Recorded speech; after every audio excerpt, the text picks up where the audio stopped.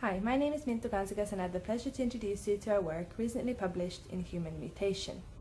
In this work, we show that a reduction in the functional mismatch repair efficiency could be used to detect partial mismatch repair gene expression.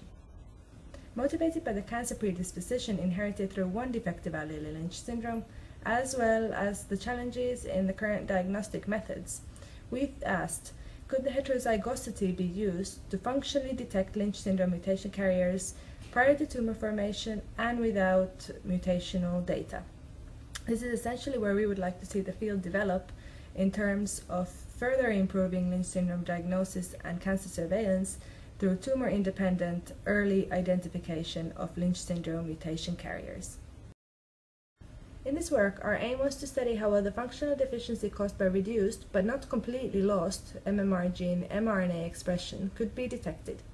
To achieve this, we created stable mismatch repair gene knockdown fibroblast cell lines, characterized them by TaqMan-based real-time PCR, and selected fibroblast cells expressing approximately 50% of MLH1, MSH2, or MSH6, so levels representing Lynch syndrome mutation carriers, as well as cells with approximately 25 and 75% of the target gene expression left. We then assessed the mismatch repair efficiency of these cells by using the in vitro mismatch repair assay. And in fact, compared to an shRNA control, a 50% reduction in MLH1, MSH2, and MSH6 could be detected by a reduction in the functional mismatch repair efficiency.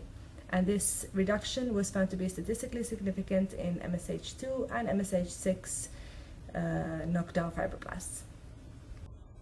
So with these findings presented in our work, we provide preliminary indication of the relative expression levels required for wild-type function and suggest that the in vitro mismatch repair assay could be used to detect Lynch syndrome mutation carrier-like mismatch repair gene expression levels.